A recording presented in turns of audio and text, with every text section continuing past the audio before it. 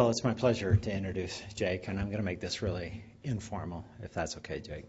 Um, I think I remember J- my first memories of Jake was as like a 19 year old snotty nosed kid, sort of. Uh, just a young freshman who had the audacity to apply for the India program. And uh, I probably never told you this, but we're like, Jeez, is he old enough? Can we send somebody so young? And then uh, he just ends up being this stellar uh, example in that uh, uh he went uh, partially because of his amazing endurance. He went with seven or eight women, is that right? Seven women. He was the only guy. Uh, three, four months in India, and they the, the best thing about it is they all loved him, you know, I, and uh, it it was really a great experience. Jake then uh, ended up serving a mission in Russia, and as soon as he came back, I knew his caliber was good enough that we got him as a field facilitator to work in the office. And you worked for three years as India field facilitator, and uh, and then just kind of one more. Well, I have to say the most important thing is he married a wonderful woman named Michelle, and he's an expecting father here. So um, you'll want to congratulate him on that. Um, but last, no, two years ago, almost two years ago, I show up in the village, uh, Chavati village, which Jake will probably mention some things about. I come dragging in, sort of, but here comes Jake out on the veranda. He looked like death eating a cracker. I don't think I ever told you that. He looked really sick, and the whole group had been been down with something. And but you know, um, so I've seen him in the field, and uh, Jake is a wonderful, responsible person. When he left BYU, I immediately got my wife to hire him. Uh, actually, um, she is she really, really has uh, appreciated Jake and his uh, abilities down working in uh, with blood services down here. And he was pre med and has done an excellent, excellent job in preparing for medical school. And um, hope I don't embarrass you, but he's been accepted into some really fine, fine gra- uh, medical schools. And I think that that might be helpful for some of you here because I know a few of you are, are pre med students and uh, I think it will be uh, valuable to hear his insights on the journey that he took. And that, so, with that really informal introduction, I'll turn the time over to you, Jake.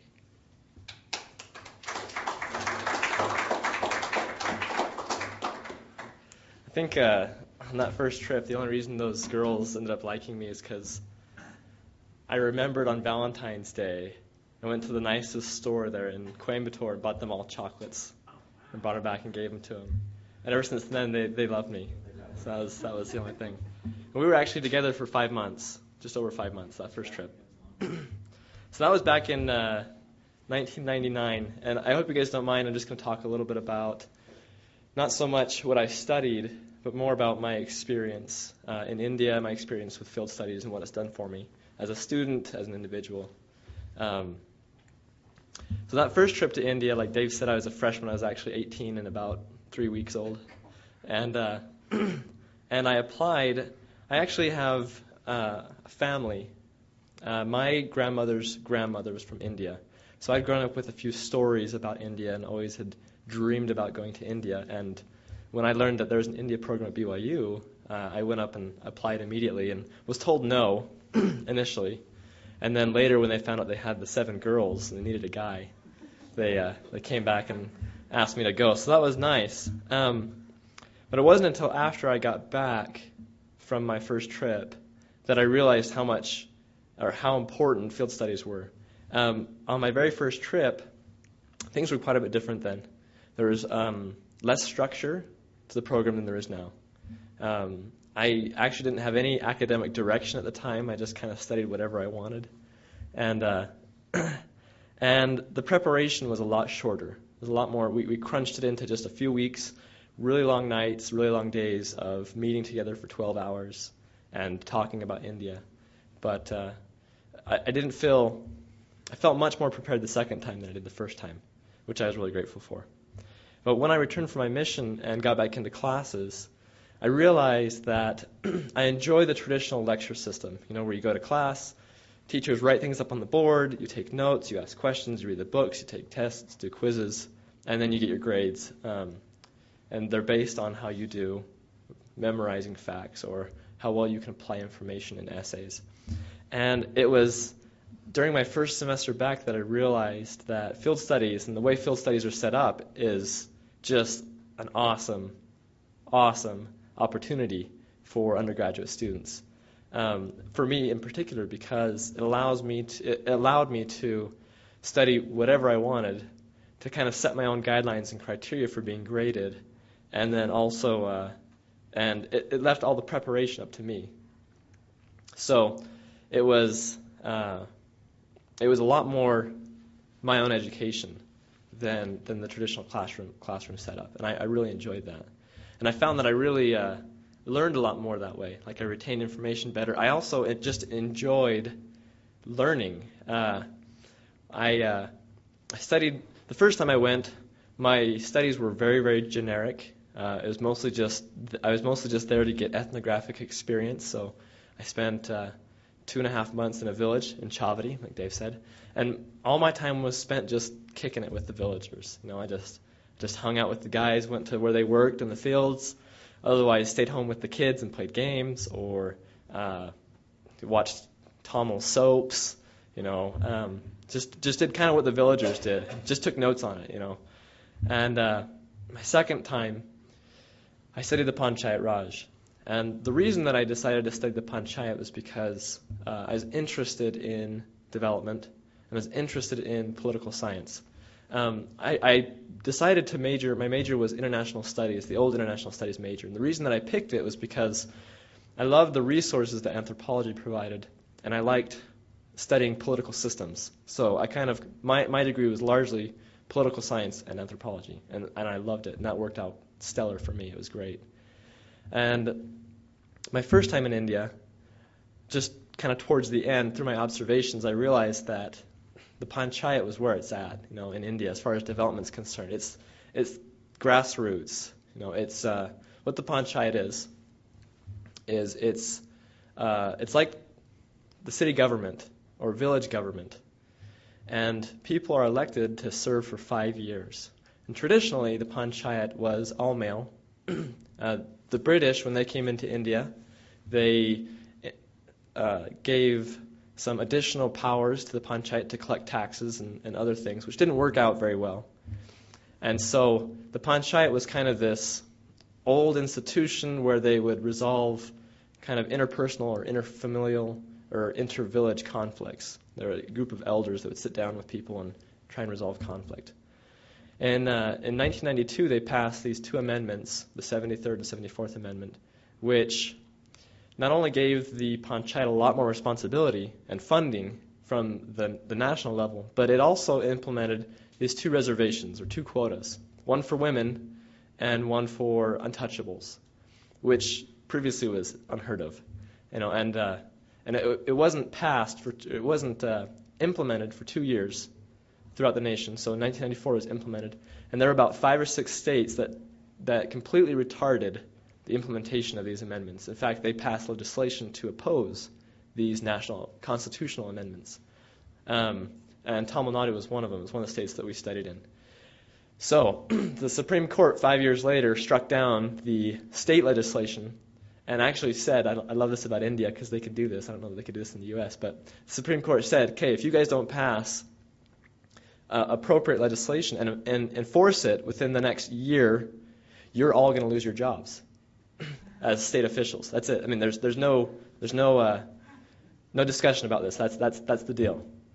And so, of course, they implemented these changes uh, where they held uh, immediate elections.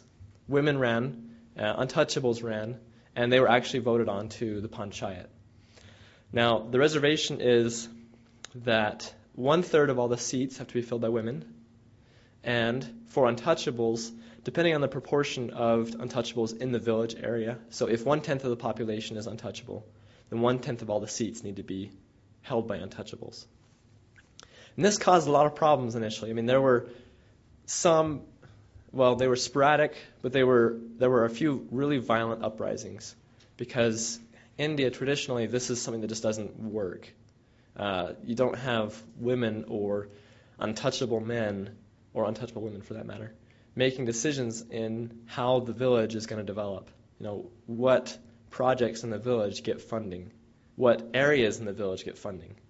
Um, and and it was it was interesting. You know, most of the stuff that I found when I was preparing suggested that this was not going to work. This was going to, you know, something was going to give, and something was going to give soon, and it was going to be reverting back to the way things were: men holding the power, and you know, largely non-untouchables, the upper caste, sitting on the panchayat.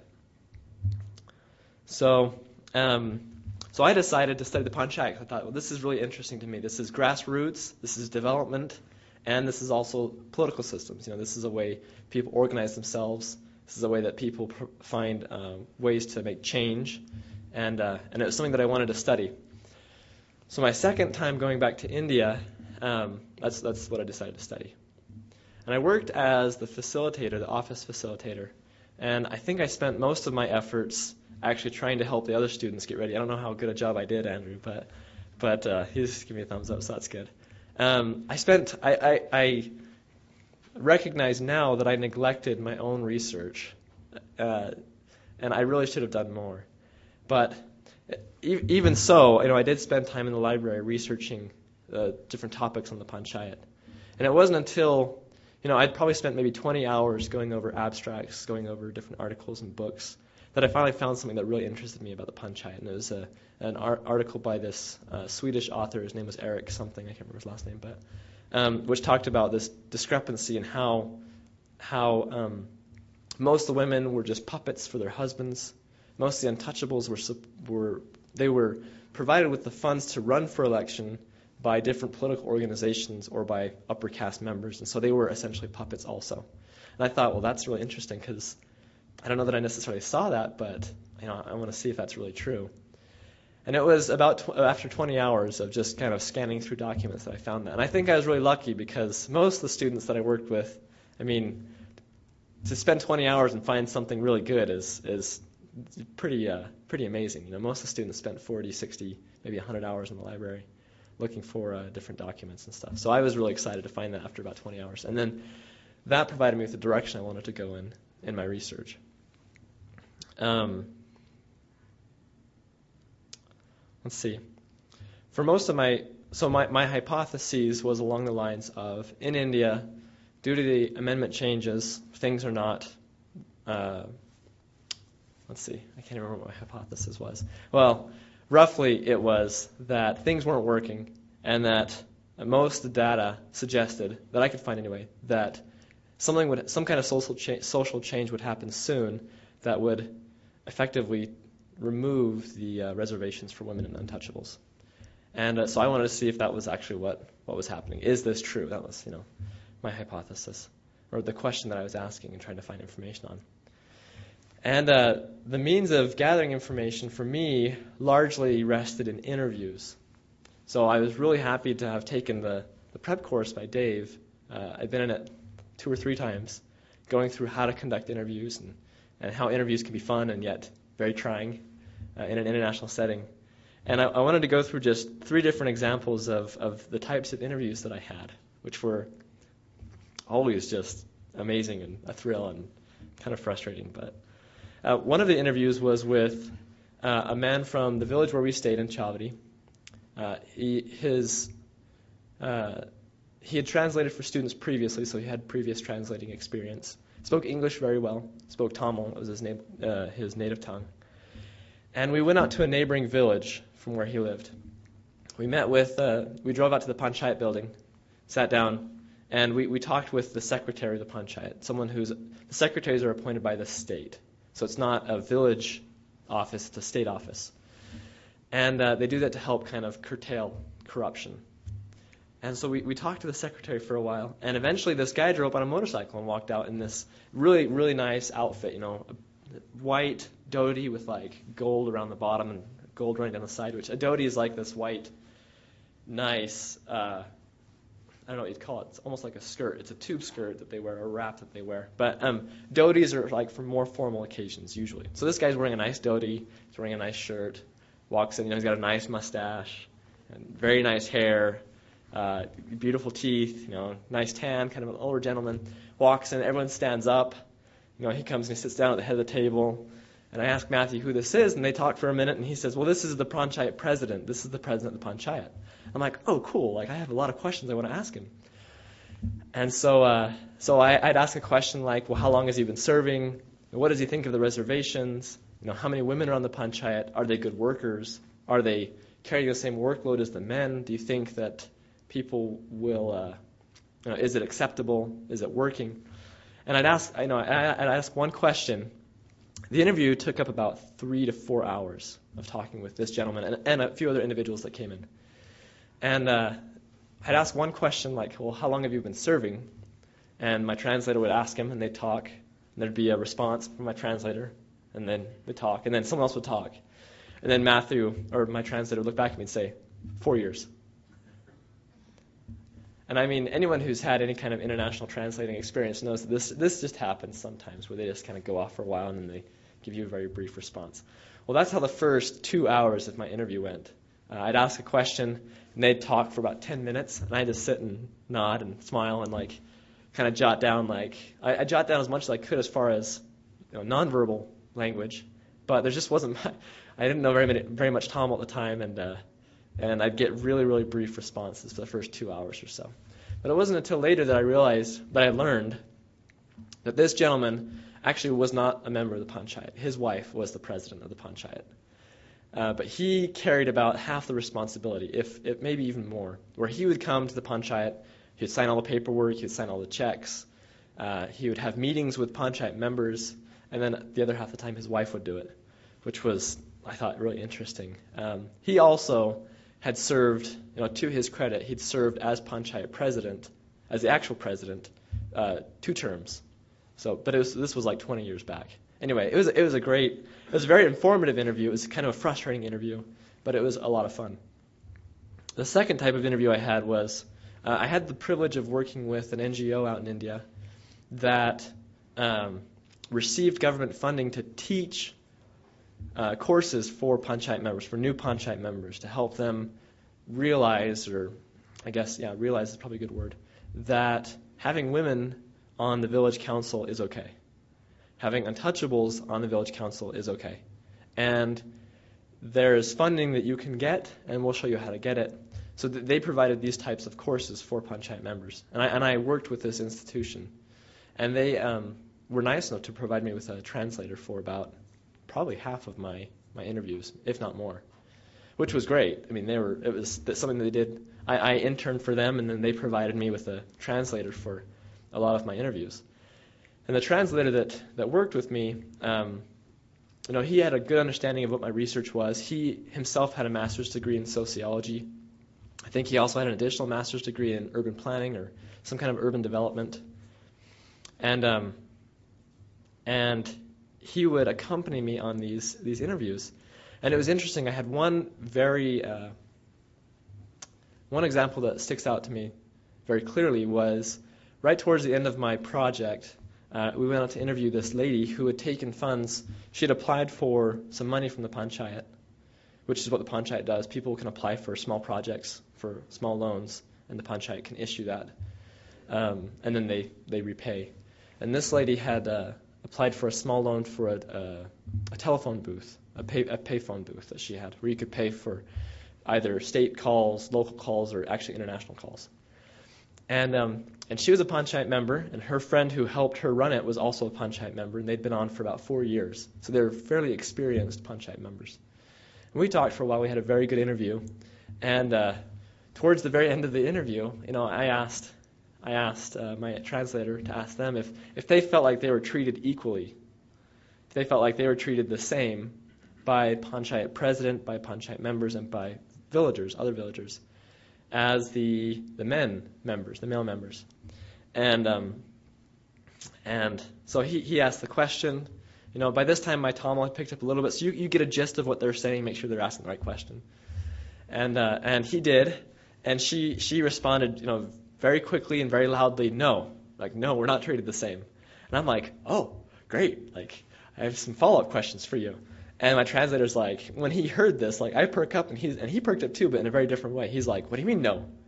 It's like, of course, of course you're treated the same, you know. And and she's like, no, no, we're not. And so they went off for a minute and talked, and I didn't quite catch the rest of it because they're speaking so fast, you know, having this nice little discussion, kind of almost a heated discussion about whether or not they were treated equally. And you know, I can see that she's flustered. I can see that my translator's flustered. And, and then, you know, about 10 minutes later, he stops, looks at me, and he goes, "Yes, they're treated exactly the same." And I'm like, "All right, I just missed out on this whole discourse." Like, but you know, whatever. All right.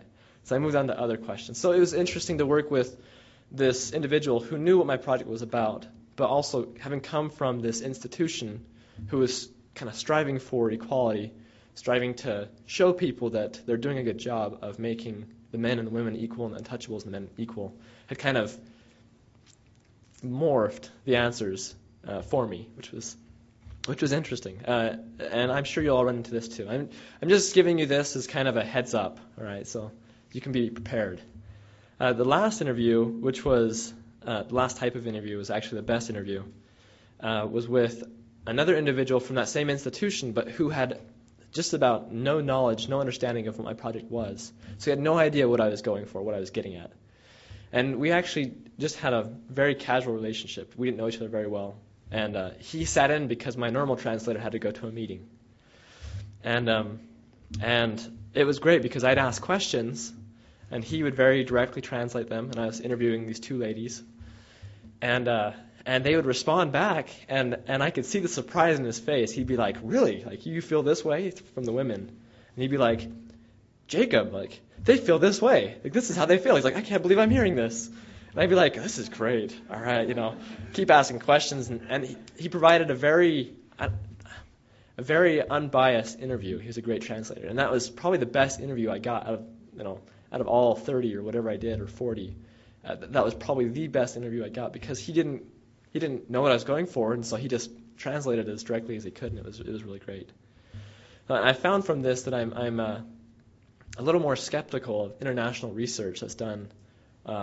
That's social science research. That's that's based on surveys. That's based on interviews, uh, because there's a lot of things that can complicate interviews, and unless you're actually the one doing the interview yourself in a, a language that you're entirely familiar with, then there's going to be some kind of complications, and they're really hard to account for in your research, which you know I found that was really hard to account for in my research.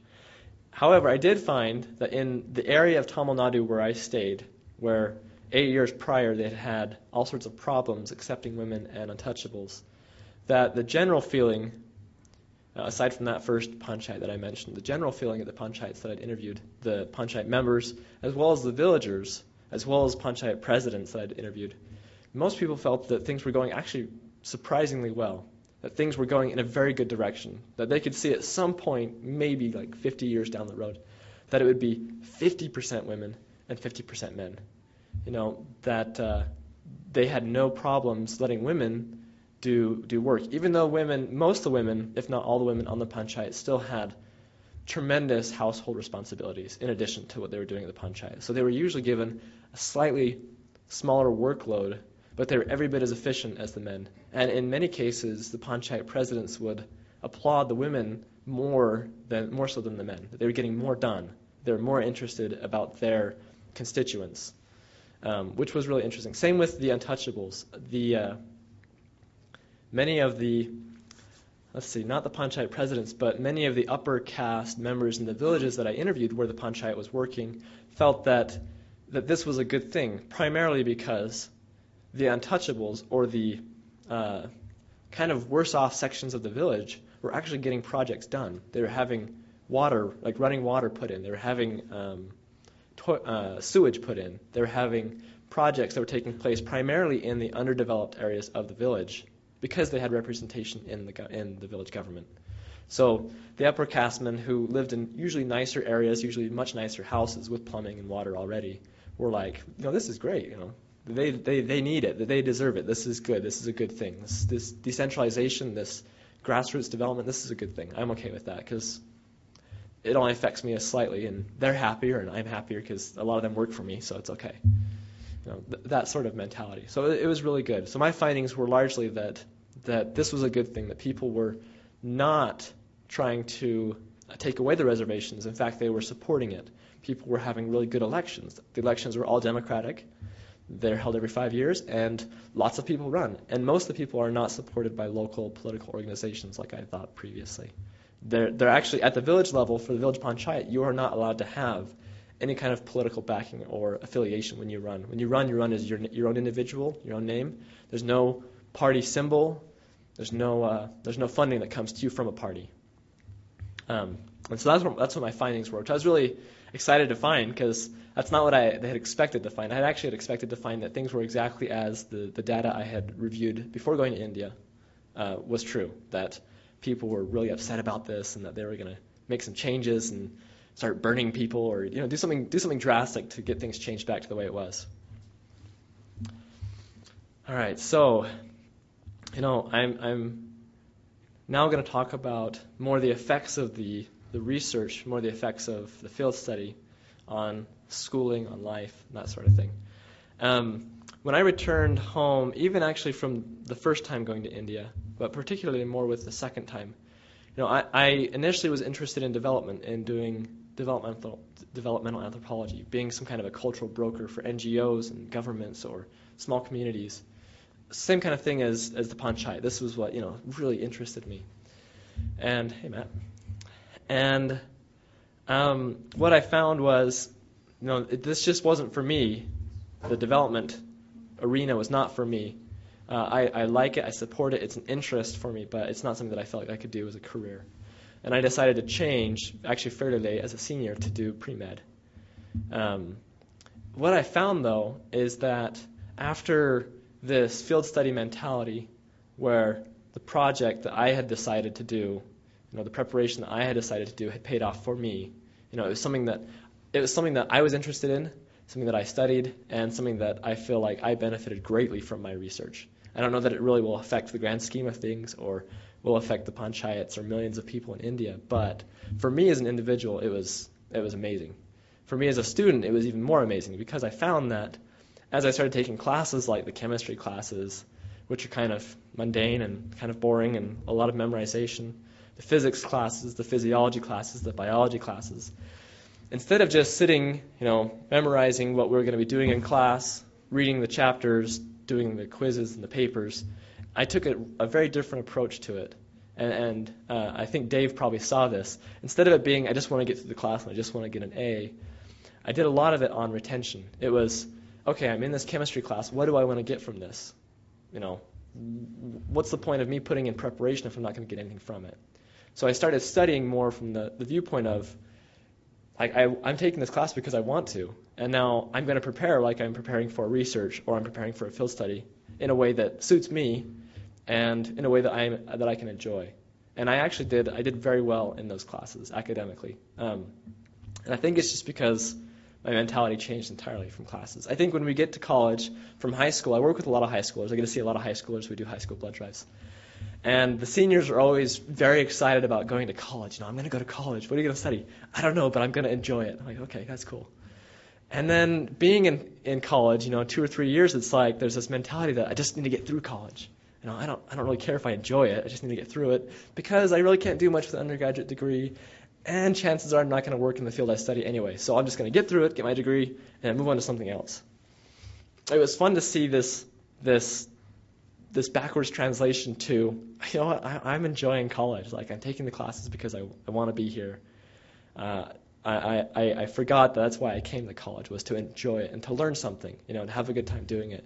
And, and, it, and it radically changed my, uh, my academic attitude. It was, it was it, my wife, it's pretty amazing. Yeah, I, I really enjoyed classes after that. Um, also, like I said earlier, I'm much more skeptical of, of research, not just not just social science research, but primarily social science research. Um, also, I mean, even the hard sciences. I want to read up on medical research that's gone on, that's gone on. You know, I, I always read the ramifications, what what the actual study was, what the results were, and then how they translated those results into their conclusion. Because sometimes I don't agree with their conclusion, or sometimes they just totally fudge numbers. You know. Um, so I became much more much more skeptical of of research. But I appreciate good research a lot more because I know it's really hard to do. Um, also, uh, this last trip to India, uh, so I've been married for going on three years now, and this last trip to India, which was just over four months, uh, I spent the first two months in India with the students. The third month, my wife came over, and then the, she left at the end of the third month. So the fourth month, I was by myself again, and actually, it was just a little longer than that. And India is an amazingly diverse place. It's a, it's a very interesting place. It seems like a place that everyone can find something they like about it. But at the same time, India is a very difficult place to live. It kind of kicks your butt. Uh, at some point, it will kick your butt. It's just that's just the way it is. India is just like that. But um, I found that as a married individual, it was it was an amazing experience. Uh, and I'm sure that those of you who are married that have been on field studies with your spouse can attest that that it's a very uh, awesome experience to go with your spouse. It puts you in very different circumstances. Here in Utah or wherever we are, we kind of flow in this. Uh, I don't know what you'd call it. We're just this tide of comfort, right? We don't we don't really do things that we're uncomfortable with. But out in India, you're uncomfortable with like 90% of the stuff you do. So being there with your spouse, it puts you in these really interesting situations where your spouse gets to see the best of you and gets to see the worst of you, like when you maybe start to attack a, a poor Indian man asking for money because you feel like he ripped you off and you're not going to give him any money, you know, stuff like that. So um, it was a very good experience for for strengthening our marriage relationship. Uh, it also provided a lot of fun experiences that we reflect back on and think and think, you know, this was really fun about India. And sometimes we'll say, man, I'm really glad I'm not in India right now. Or like, do you remember this about India? Like, I hated that. Or this, I love this. And so my wife, being sick probably two thirds of the time she was there, had a, a much more difficult time, I think, really enjoying and, and actually even experiencing India because she spent so much time kind of just under the weather. So in either in our hotel room or uh, traveling around in, in cars, she didn't get to see a lot of it. But she's when she came home, she got very sick, was not interested in ever going back to India. But now, a year and a half later, we've decided that we're, we're going to go back eventually once we get the money. I don't know. If any of you guys want to pay for us to go, we'll go. But, uh, but for any of you who are considering marriage and field studies, they work out great. Let me just tell you. I mean, maybe a little more expensive, but but the benefits greatly outweigh the uh, the cost. Um, and then last, I just want to talk a little bit about kind of advice or regrets that I had uh, as far as field studies are concerned. Um, like I mentioned earlier, with my second trip to India, I felt like I didn't feel like this at the time, but afterwards, I felt like I neglected my own research uh, to a degree because I was trying to help other students prepare. And I wish I'd spent more time preparing for my research uh, the second time. Because really, you know, field studies are great. If you prepare well, it's great. You can pat yourself on the back. If you don't prepare well, it's your own fault. And so, you know, who's to blame? You. And so I felt like I was prepared culturally, but research wise, I really wish I would have spent just, just more time reading, more time looking up stuff.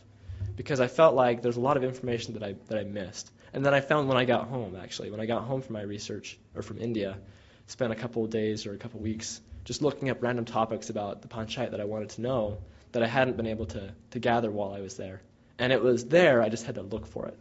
So, my advice to those of you who are preparing for field studies is just prepare like mad. Just, you know, it's all up to you, it's all your research, but still at the same time, there's so much information out there that you can that you can lean on and still get new information for yourself. It's just important to go out there and find it, and you really have to look to find it. Um, the second thing is is about journals. And for those of you who are in the, the preparation course or will soon be in the preparation course, I'm sure you'll hear multiple times how important it is that you, after experiencing something, record it in your journal. And I believe part of the curriculum, if it hasn't changed, is to write a daily journal. You know, to show to show that you're insightful, right? That's the goal. Is to it doesn't matter how long it is, you just need to be insightful.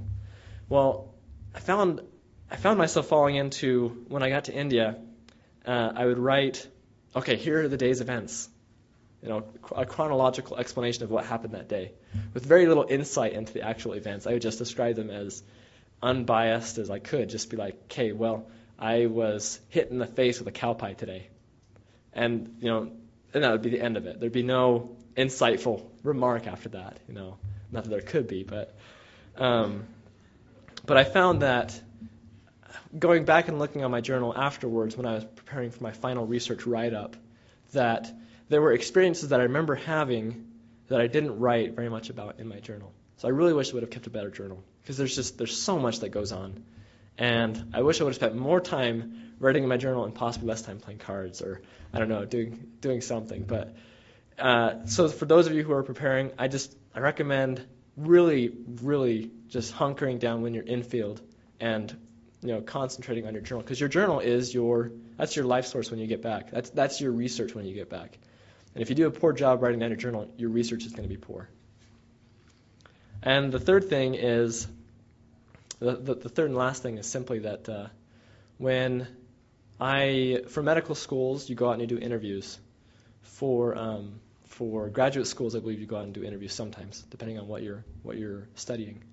And I found that my experiences interviewing in India made my interviews for medical school like cake. It was nothing, you know, just because there wasn't the stress of trying to uh, of thinking, man, like I hope that he's translating this correctly, or I hope he got that question right, or I hope that I'm not going to get you know kicked out of this building, or it, it was all it was. It, most of my interviews, I think, I don't know that they went really well, but I know that I felt really really good about them. That I was really at ease because I'd had, I mean, I'd done like you know 40 or 50 interviews in India and it, it, was no problem. So that, that was one great benefit. So for those of you who are considering furthering your, furthering your education, you know, take advantage of the experiences you have on your field studies because they'll help prepare you for future experiences, uh, for future opportunities, for future interviews and that sort of thing. So that's about it. That's all I've got, and it was kind of just a conglomeration of thoughts. I hope that's okay. And I'm going to open up the last. Uh, I think there's eight or 12 or some odd minutes for questions and answers if you guys have any. Okay. Oh, thanks, Dave.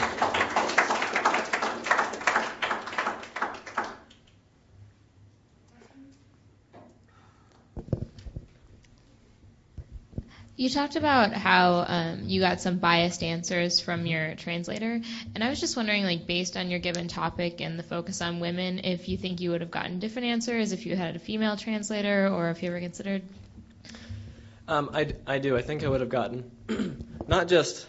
It's really it's really interesting how much difference the difference that a, a translator can make. And for me to have a, a, female translator in India at the time probably was not the most appropriate thing. Uh, just culturally, it wouldn't have been quite as acceptable as the people that I did work with had a standing relationship with these people. So they had gone out and taught courses. They knew these women, and it was okay for these women to be talking with men. For me to find a female translator just in and of itself would have been fairly difficult, I think, in India. But I think it would have changed. I think it, it really would have changed my answers. And, and that's one thing, you know, um, by the time, so in India, you're given a slightly shorter time frame to do your research uh, if you're doing it in the village. And I found that about halfway through to maybe two thirds of the way through my time, all my interviews had been done with men. So the untouchable part of my interview was great, or of my research was, was great, and I felt like it was coming along really well. But the women part of my research was not coming along very well. And I had to work really hard to get interviews with women, uh, and especially ones that would actually you know, talk to me really honestly. Most of the women uh, initially had, I, I, you could tell that they, because I was interviewing with this man who worked with this institution, they would kind of give, they always, well, everyone at the first gave the same answers, the same repetitive, like memorized answers. But then it would take a while asking more questions, and they'd finally loosen up and say, you know what? I don't really agree with what I said like a half hour ago. Like that's just what I was told to say. So I think it would have changed uh, changed my, my results quite a bit. But I think in the same token, I think that I think that overall my feeling was that things were still headed headed in a good direction. That women still felt like they were being incorporated into this political, uh, I don't know what you'd call it, clockwork or this political, uh, the framework that they were able to get things done. Women actually were doing things. They had responsibility. They had the means to get things done, get things accomplished. So it, it was good, I think, in the end. I was just going to say, translating is, is always an issue because you it's not just gender, it's everything else. I mean, and there's there's in India, you've got this whole added component of caste, which kind of works into, at times, is not a problem. But when I interviewed with the first uh, gentleman that I mentioned, he is not, he's a Christian, but regardless, there's still a caste association with where he is. And when we went out to interview at the panchayat meeting that first time, uh, it was it was very prevalent. I mean, it was very clear that they knew where he was, and he knew his position in the social stature of those who were there interviewing. And, and that kind of changed things a little bit. So, yeah, there's a lot of complicating factors, but I still think you can do good research even, you know, regardless. Um, concerning research methods, Uh-huh. um, I've, I mean, I'm a senior. I'm actually a second year senior. I'm working on the third year soon, but I've been doing research for a while. Um, but I, I think you can always get better. Um, I'm also in the humanities, and so social science research um, Mhm. seems to have some differences. I realize you can't anticipate everything, but especially from your experience coming home, um, con, um, compared to as you were doing research before, what uh, what did you learn about um, maybe different ways that you could have thought about a topic, or um, or different planning as you go into your research, to where you could have had a little bit better anticipation of um, of topics that may have come up. I understand you can't get everything. Yeah.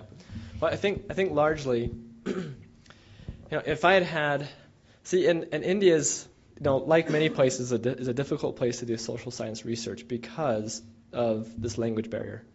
If I had had um, access to someone who spoke Tamil here in know, when I was in Provo, when I was still preparing my research, I think I would have done. Excuse me. I would have at least attempted to find some kind of standardized surveys that I could put out, or something that I could j- just a very standard questionnaire that I could present to people that um, that I could somehow later go through and, and kind of uh, lay down the, the data where it fell. Also, the only other thing I think of just off the top of my head is when I got home, there was no one for me to interview. when I got home, all I could do was find books, find articles, maybe by some stroke of luck, happen to meet someone in a chat room who was from India or something. I don't know. But uh, um, there were a lot of questions that I had unanswered when I left India because of just a lack of of information beforehand. So I really think this sounds crazy and I don't know how to do it, but if you could just gather all the information about your topic before you go, that would help you a lot.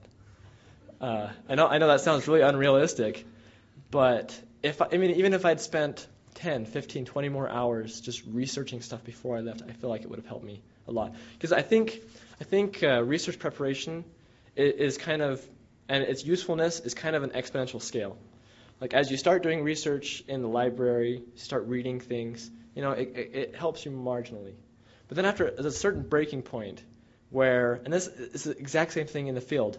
I spent, you know, eight weeks or seven weeks, you know, kind of on this marginal scale. And then the, the last two or three weeks, my research just took off. I mean, absolutely took off. I started getting interviews every day, twice a day, three times a day. I mean, it was, but you have to put in a certain amount of effort. And I think it's the same with doing book research in the library and on, on the internet. It was there's a certain point where you just kind of marginally get more information and feel more comfortable with your topic. And then there's a point where you start taking off dramatically. And I think it's important not only to get to that point, but to keep continuing on after you get to that point. So that's, I know that's very vague, but I hope that helps. Okay. Uh, touching back on you, uh, when you were addressing your translator, and you Uh-huh. mentioned that one of your best interviews was with a new translator. Uh-huh. Do you feel like there are additional pros to maybe switching or using various translators, and if that's a possibility? Um, I think um, you run into, okay, yes, there are pros, but you run into additional complications when you change translators because when you stick with one translator, you get to understand their nuances. You get to understand, you, you, you come to know, know how they ask questions. Not just the questions that they ask, but like if they're addressing them politely, if they're addressing them like they're retarded, or do you know what I mean? Like you, you get to know the, the translator and the way they translate fairly well. Um, for me, at that point, when I started doing translations and they provided this person to me, I didn't feel like I was in a position where I could ask for a different translator from that institution. I felt like I just needed to do what I could with what I had. And he did a great job most of the time. But again, I think there are pros in changing translators in that you're going to get a different experience with each translator. But then again, it's hard to account for different, like I said, nuances. If you've got a translator who, um, I'm trying to think of an, an example. With the translator that did most of my translating, it wasn't until about four or five interviews into it that I realized when he said something, and it was something that he said quite often because it was a question that I, I asked quite often, that what he was saying was not exactly what he meant. Like his his English was good, but it wasn't great. So he'd say one thing and, and mean something different. And it wasn't until we'd we'd done these five or six interviews and went out to lunch one day and we were talking and, and I asked him about it and he's like, "Oh, this is what I you know this is this is what they said." Like, well, is this what you mean? And he'd say, No, no, no, that's not what I meant. This is what I meant. And then it took an hour or two hours to discuss what he actually meant. Because that's not something you can usually do in the process of an interview. Because you're there to discuss it, you know, ask questions to the third person. So I think, I think it's very beneficial to have one really good translator uh, that, you can, that you can get to know and work with all the time. But I don't think it will set you back too far if you are changing. And I think that if you have a translator who is, in fact, kind of uh, skewing the answers, that it, it, would be very beneficial at that point to, to change translators. Isn't the trouble also with translators is these are real people and you develop relationships with them. So just like, for example, I don't know if you caught the significance of what Jake was saying, but him, if he was having a female translator, Shauna, then he uh, he will discredit himself in the eyes of everybody he comes across because he's traipsing around with a female translator, and it's inappropriate for men and women to be in that kind of relationship over a long period of time. So he's got to be careful with translators you start working with. They may be a lousy translator, but the problem is now they're your friend, and you can't say, you know what, I'm going with someone else. I'm going with somebody else, you know. Uh, and and also they rely on on the pay that we give them on on the compensation we give. Yeah. So uh, I think the best advice is is be cautious when you're entering into the selection process of translators. Spend quite a bit of time, even without talking to them about working for you, sizing them up, listening to them, checking out their English, uh, trying to figure out their position in the community and and whether or not they're taken serious or they're legitimate people in the community because it makes a really really a big difference. Well and i think i think the field studies program provides you a tremendous asset by having students that have been before who work with you students who've been to the field who work with you because they can provide recommendations and they also know generally speaking they'll know which people have been used as translators before and kind of the pros and cons of each individual translator so i think you know, it's not like you're just out there like uh, can anyone here speak English? You know, can you help me? It's it's you've got resources here at, through the Kennedy Center, which is really nice.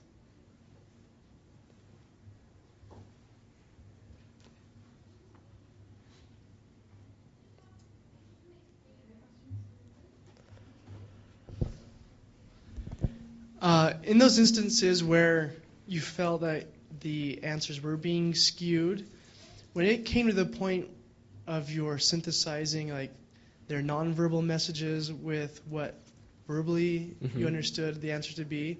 How did you go about that in your uh, conclusions of your research? Like, how did you synthesize those two things? Okay, I think um, in my in my research, you know, this is uh, for anyone who's done research before. Your first time doing real research is gonna be hopefully not your best ever research done. Um, and and I, I was very clear in my research conclusions that, you know, I had I had these complications with my interviewers and my interviewees. And again, doing cross-cultural studies, it becomes difficult in that body language and nonverbal cues are very different. And so it, it, takes, you know, a few weeks to really get to where you're, you know, this is okay, you know. It's this is not like I'm deciding on what I want to do, this is you know, like yes, or you know, it's an affirmative uh, body signal. So, as far as synthesizing, you know, what I heard with what I saw, it wasn't until really I'd been out there for a while. I mean, even though I'd had this previous five five and a half months in India, it wasn't until I'd been out for a few weeks interviewing that I could really that I really felt comfortable saying, this is what they said, but this is what I think they. I mean, from what they were doing, this is what I think they may have said uh, which is slightly different than what they said. But the thing is, you can't draw conclusions on what you think they said. You can only draw conclusions on what, what you heard. So it was it was it was difficult to synthesize the two. But towards the end, when I when I could clearly identify that what the the translator was saying was not what I heard or saw, I would repeat the question in a different way to make sure that I got the right answer. And that was and translators are they're really good about that. If you ask the same question but just in a different way, they, they usually because the translating mode I think we all know how it is you just you hear and you respond. Usually, you hear and you respond. So you don't really think about what you're asking. So if you ask a question a second time in a slightly different way, they, they won't be offended by that. You know? So that, that's what I did towards the end when I realized that. And I, again, this didn't happen all too often. Just when I could clearly identify that what she said was not what he said, then I'd I'd ask again. So yeah. All right.